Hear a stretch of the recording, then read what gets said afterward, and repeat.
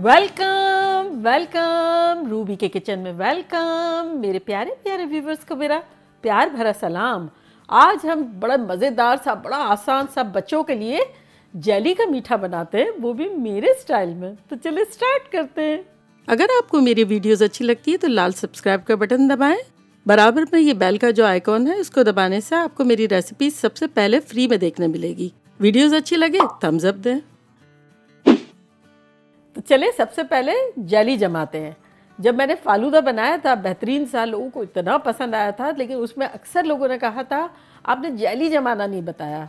तो चले, मैं फालूदे का लिंक यहाँ देती हूँ, जिन्होंने देखना है वो देखें और यही वाली जेली बना के और फिर उसमें डालें। तो चले देखें हमारे पास यहाँ दो पॉट्स है छोटे छोटे दोनों का चूल्हा ऑन करते हैं। और दोनों में डेढ़ डेढ़ कप पानी डाल देते हैं। ये गया डेढ़ कप पानी और इसमें भी डेढ़ कप पानी। वैसे आम हालात में जो तीन आउंस का जो पैकेट होता है ना जेली का, उसमें पीछे डायरेक्शन होता है कि दो कप हमें पानी लेना है। लेकिन ये जो डिज़र्ट है, इसमें हमें जेली जो है वो थोड़ी फर्म चाहिए। इसलिए हमने डेढ़ डेढ़ कप लिया है। तो अब ये बस, ये थोड़ा बॉयल होता है तो हम इसका वेट करते हैं। देखिए पानी कितने अच्छे से उबल गया है। तो अब इसमें हम डालते हैं रेड वाली जेली, इसमें आप स्ट्रॉबेरी या चेरी दोनों ले सकते हैं, आपकी मर्ज़ी है। तो चलो ये डाल देते हैं। स्टैंडर्ड पैकेट ही है तीन आउंस वाला। अच्छा जो लोग अमेरिका और कनाडा वगैरह में रहते हैं, वो अक्सर पूछते हैं कि भाई, हलाल जेली जो है, वो कहाँ से मिलती है? तो जो भी आपके करीबी जो देसी स्टोर होता है, इंडियन, पाकिस्तानी वहाँ से बड़े आसानी से मिल जाती है और डिफरेंट ब्रांड्स की मिल जाती है। आप अपनी मर्ज़ी से कोई भी फ्लेवर ले सकते हैं। चले अब इसमें डाल देते हैं ग्रीन वाली। इसको भी हिला लेते हैं। देखा कैसे वाइट वाइट लग रही थी और ग्रीन ग्रीन हो गई। वैसे आप कोई भी जेली का कलर पिक कर सकते हैं। ये रेड एंड ग्रीन का कॉन्ट्रास्ट जो है, वो बड़ा ब्यूटीफुल सा है, इसलिए मैंने ये पिक किया। आपको जो अच्छा लगता है, ले सकते हैं आप। चले ये तो बड़े अच्छे से उबल गई है। इसका चूल्हा हम बंद करते हैं और इसको हिला के मेक श्योर करते हैं कि अच्छे से डिज़ोल्व हो गई हो। और उसके बाद आप किसी भी कंटेनर में जमा सकते हैं, कोई भी शीशे का हो, स्टील का हो, या प्लास्टिक, जो हीट बर्दाश्त कर सकता हो। तो ये देखें बड़े अच्छे से डिज़ोल्व हो गई है। तो अब इसको हम डाल देते हैं अपने कंटेनर में।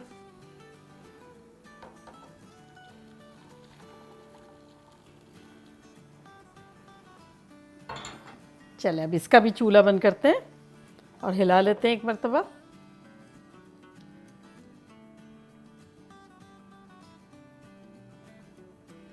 और इसको भी डाल देते हैं।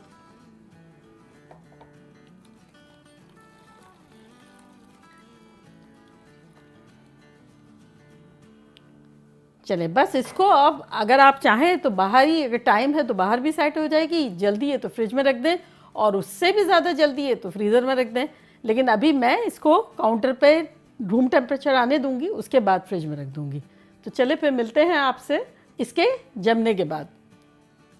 देखिए फोर्टी फोर्टी फाइव मिनट्स हो गई है और हमारी जेली जो है बड़ी अच्छी सी जम गई है।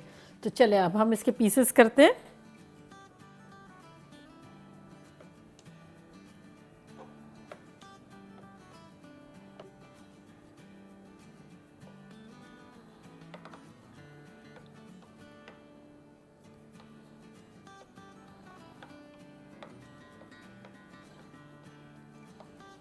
चले स्क्वायर स्क्वायर इसको भी काट लेंगे, छोटे छोटे पीसेस बहुत छोटे भी नहीं करेंगे, क्योंकि उसकी खूबसूरती थोड़े से स्क्वायर क्यूब्स होंगे, उसमें होगी। ये इतना खूबसूरत लगता है डिज़र्ट और मैं बताऊँ मेन चीज़ क्या है? इस डिज़र्ट की बच्चों को बड़ा अच्छा लगता है कलरफुल है तो।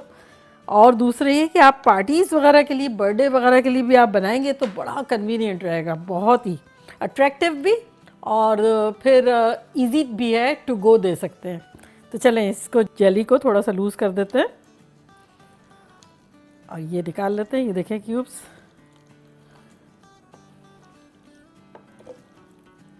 देखिए, कितनी खुश खुश है। सेम इसको भी कर लेते हैं। चलें, अब इसको हम ज़रा साइड पर रखते हैं, दोनों जेलीस को। और झटपट ज़बरदस्त सा एक कस्टर्ड बनाएँगे जो पकाना भी नहीं है और झटपट बनेगा।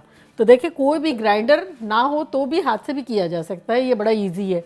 वो जो एग बीटर टाइप का होता है ना, वो ले लें आप। तो देखिए, हमारे पास यहाँ आधा कप कंडेंस मिल्क है। अगर कंडेंस मिल्क की आपने मेरी रेसिपी नहीं देखी है तो उसका लिंक मैं यहाँ देती हूँ। आप लोग बनाइएगा और अगर रेडीमेड लेना हो तो रेडीमेड ले लें। और अगर कुछ भी नहीं मिल सक रहा है तब आप शक्कर भी डाल सकते हैं इसकी जगह। लेकिन कंडेंस मिल्क डालेंगे तो थोड़ा सा क्या फ्लेवर ज़्यादा अच्छा लगेगा, लेकिन डाली जा सकती है। शक्कर भी अगर अवेलेबल नहीं है तो। चलें, ये डाल दिया। अब इसमें हम डालेंगे आधा कप इवेपरेटेड मिल्क उसकी रेसिपी भी मैंने दी है कोल्ड कॉफ़ी में, उसका लिंक भी मैं यहाँ देती हूँ। लेकिन अगर ना हो या ना बनाने का दिल चाह रहा हो, तब अच्छा गाढ़ा गाढ़ा दूध भी डाला जा सकता है आधा कप। तो चले, ये आधा कप चला गया इसमें।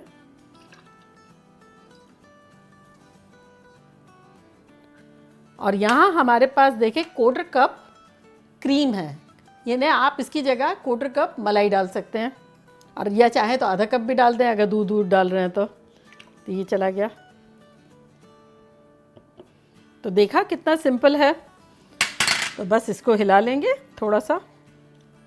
अगर ये आप बर्तन में बना रहे हैं तो आप खुद से ही इस तरह से हिला लें, हो जाएगा। अच्छा अब इसमें जाएगा जेलेटिन पाउडर जेलेटिन पाउडर ये देखिए, अगर बहुत सारे लोग अनजान हैं उससे, वो किसी भी चीज़ को सेट करने में काम आता है और उसका कोई फ्लेवर नहीं होता है। और उसका मेन काम होता है सेट करना, यानी ये जैसे जेली बनाई है ना, उसमें भी ये होता है। तो ये देखिए, हलाल भी मिलता है। अगर आप कनाडा या अमेरिका की तरफ़ है तो ये ब्रांड भी मिलता है। और बाकी हर जगह बड़े इजीली अवेलेबल है। तो ये हमने लिया है तीन टीस्पून तो ये तीन टीस्पून है, यहाँ हमारे पास है आधा कप गर्म पानी। तो ये आधा कप गर्म पानी में ये हम डाल देंगे तीन टीस्पून जेलेटिन पाउडर और इसको हिला लेंगे। बस अच्छे से डिज़ोल्व हो जाना चाहिए। चले ये भी हो गया, अब ये भी चला जाएगा इसमें।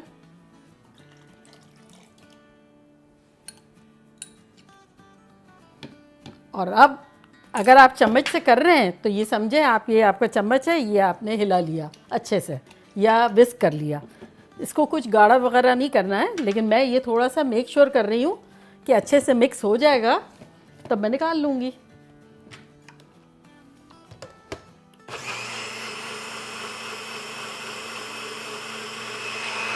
तो बस, ये हो गया मिक्स हो गया। अब देखिए जिस भी आपको बर्तन में जमाना हो वो ले सकते हैं आप। और पता है बेस्ट क्या है? बच्चों के लिए जो बर्थडे पार्टीज़ वगैरह होती है ना, उसके लिए इस तरह से हम डिस्पोजेबल जो ग्लास लें और उसमें बनाएँ तो बच्चों को क्या टुगो दे दिया या वहीं वो खा रहे हैं बच्चा ले गए, गिराएँगे तो मसला नहीं, और ख़ूबसूरत भी लगता है। तो एक मैं आपको दिखाने के लिए इसमें जमाऊँगी, और अब हम ये ले लेते हैं अपना जेलो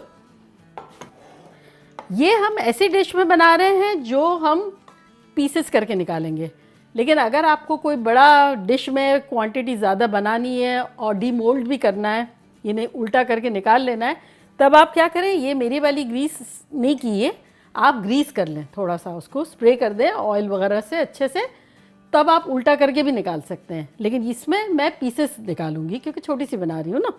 तो अब क्या करेंगे, सबसे पहले थोड़ी सी ग्रीन जेली डाल देते हैं।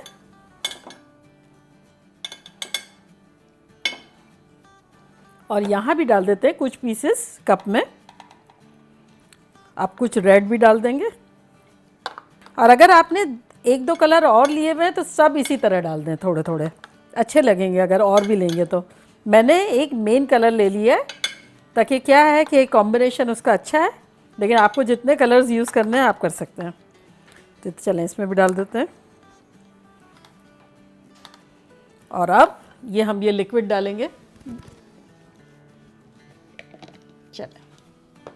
अब थोड़ा सा ये हम डालेंगे हल्का सा।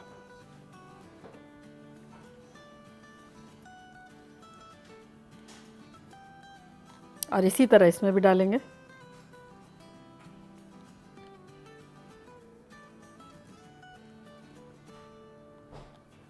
और अब दोबारा जेली डालेंगे। तो बिरयानी की तरह हम तीन तह लगाएँगे। तीन मरतबा थोड़ा थोड़ा डालेंगे। अब दोबारा डालते हैं।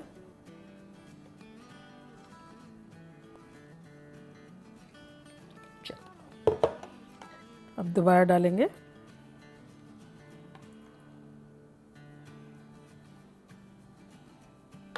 अब ये डाल देंगे।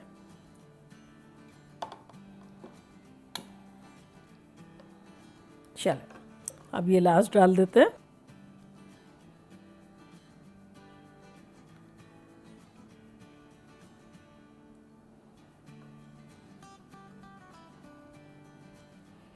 बस अब जो बचा है वो सब ऊपर डाल देंगे। है ना? फन है ना? बिल्कुल। अब बच्चे भी इतने खुश हो जाते हैं ये देख के। और गर्मियों में तो बड़ा मज़े का लगता है। ख़ास तौर से इफ़ार वगैरह में तो इतना मज़े का लगता है ये।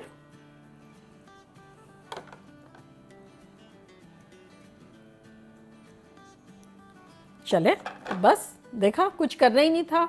डन हो गया और उसको फ्रिज में रख देंगे। हमारे पास तो ज़्यादा टाइम नहीं है तो दो ढाई घंटे तक रख लेते हैं। अगर आप ओवरनाइट रखेंगे तो और रिज़ल्ट अच्छा आएगा, वरना पाँच छः घंटे रखेंगे, तब भी ज़बरदस्त हो जाएगा। तो चले इसको फ्रिज में रखते हैं।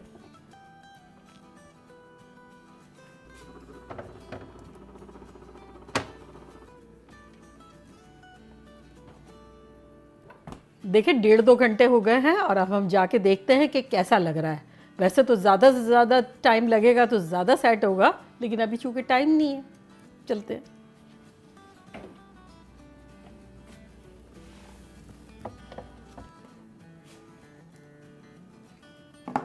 हम्म तो चले काटते हैं, मैं तो बड़ी एक्साइटेड हूँ।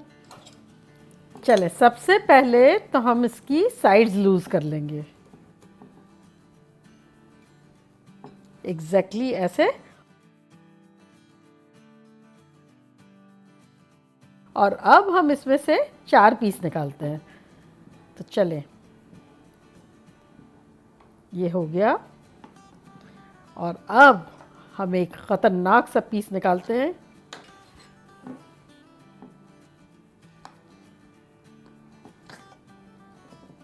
ये देखें, हमने कितना अच्छा सा स्क्वायर पीस निकाल लिया है। अब इसी तरह से हम और भी निकाल लेते हैं।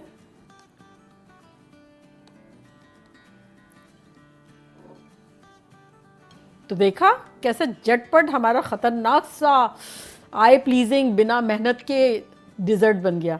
कुछ करना भी नहीं पड़ा।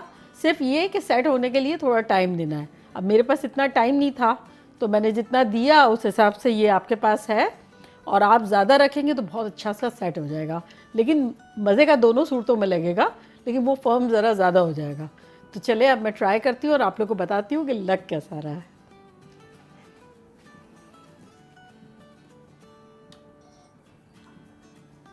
हम्म कैसा जिगल हो रहा है देखें।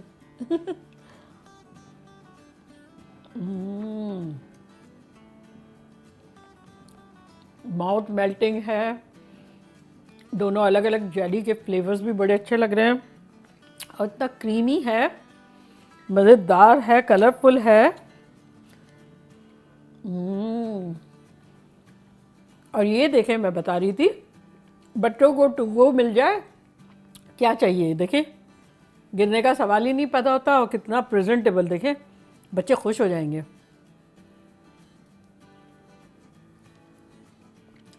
हम्म। बहुत ख़तरनाक है। पार्टीज़ के लिए, बच्चों के लिए और रमज़ानों के लिए बेस्ट है। इतना हल्का फुल्का है, मज़ेदार है, मेहनत करनी नहीं है, ठंडक हो जाती है और अगर आपको जैसे डिश उल्टी कर देनी है और ऐसा खूबसूरत बनाना है कि फिर काट के पीसेस निकालें तो बस ये याद रखें कि वो ऑयल कर दें ग्रीस कर दें और फिर ये जेली डालें, फिर दूध डालें, इसी तरह से कंटिन्यू रखें। ताकि फिर साइड से किनारे यूँ लूज़ करेंगे और उल्टा कर देंगे। वो उसका एक ब्यूटी अलग है। चले, जल्दी जल्दी जाएँ, बनाएँ, खूब मज़े करें, धमाल मचाएँ बर्थडे पार्टीज़ में भी बनाएँ। चलती हूँ, दुआओं में याद रखिएगा, इंशाल्लाह फिर लौट के आऊँगी इसी तरह की रंगा रंग रेसिपी के साथ। और मीठी मीठी लव यू ऑल बाय अल्लाह हाफिज़।